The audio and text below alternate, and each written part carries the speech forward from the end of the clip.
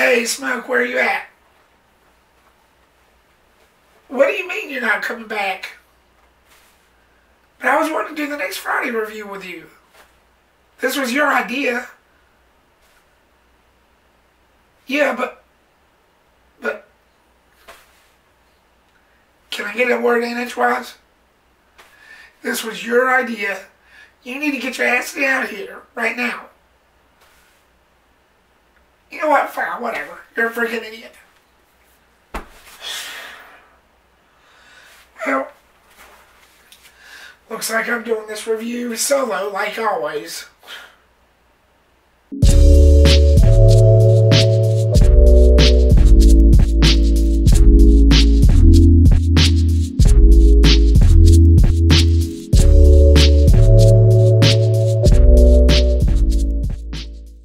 What's going on guys and welcome to another Riptized video. Next Friday was directed by Steve Carr and stars Ice Cube, John Witherspoon, and newcomer Mike Epps, and it follows Craig who moves out of the hood and into the suburbs with his uncle and cousin because Deebo, the neighborhood bully Craig dealt with, broke out of jail along with his brother to enact revenge.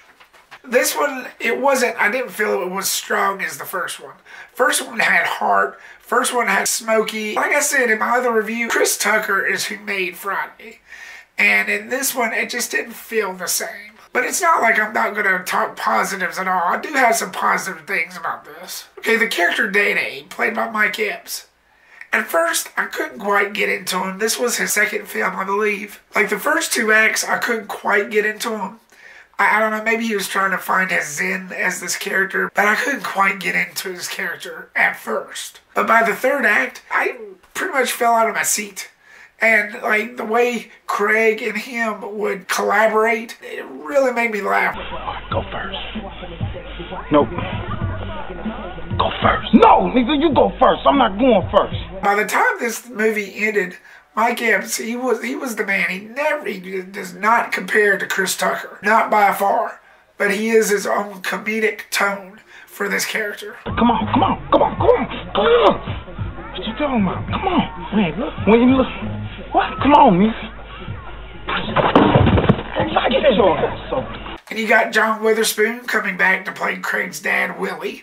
He was the same as he was in the first one, which not what not necessarily bad. I feel five pounds lighter. What? Jealous? And then you got the main villain, the the Joker. That's what he's called, not the DC villain.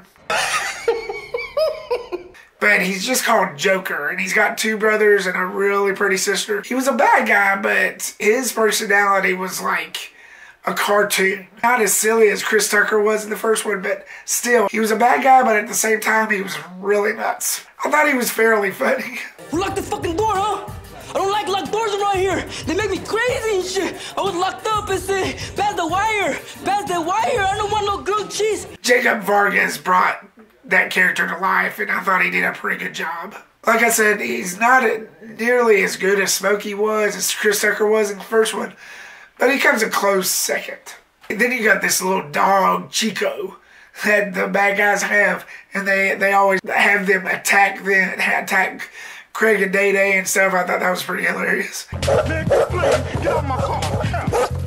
Christopher J. Baffa's cinematography and lighting was done pretty well. Because this was set in a different setting, it didn't look as urban-like. So it was lighter. It was, it was, it had more color to it. The first one, you knew that the movie was set where it was because of where it was. And the lighting and the cinematography for that really showed. But because Craig is in a different place, of course it's going to show on screen. So the cinematography and lighting played a heavy hand in that. The urban feel is there, but it's just not as strong. Now, Craig, it's gonna be different living out here. Terence Blanchard's score was pretty good. It gave it that kind of com- comedic feel, but at the same time, it was different because it had more of a score in this one than a soundtrack. And speaking of the soundtrack, it wasn't as good as the first one. The soundtrack for the first one was just awesome. This one, I think it just had one song on it that I liked, which was Ice Cube's song "Do It Like That." I believe that's the name of it. I I really like that song, but the rest I couldn't really get into. Which slides me into the negative. I told you the premise about how Craig had to move out of the hood because of Deebo's escape. And he knows that Deebo is going to enact revenge for what he did to him at the end of the first one. I understand that, but I just felt like Deebo's presence wasn't really necessary. It didn't really fit the tone of the film. I mean, like I said, I get that it's his revenge, but he didn't really do anything. The most he did was scare a dog. You stupid mutt! And jump in front of the car in front of Day Day and his dad when they were leaving at the beginning of the film. Hey, stop! Ah! Get your little punk ass out the car, Craig! This is the rematch! That's it. He doesn't really do that much. They didn't really give him that much to do in this. I just felt like his presence wasn't really needed and like the context could have been there, but not literally, if you get what I'm saying.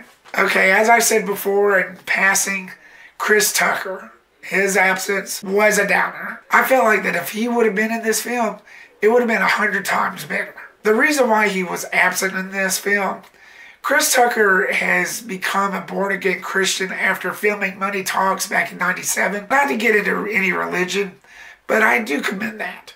He stuck to what he believed. But because of that, we kind of lost a great comedic character. But instead, he decided to do the Rush Hour films, which I commend that. We still got a really great character out of those films.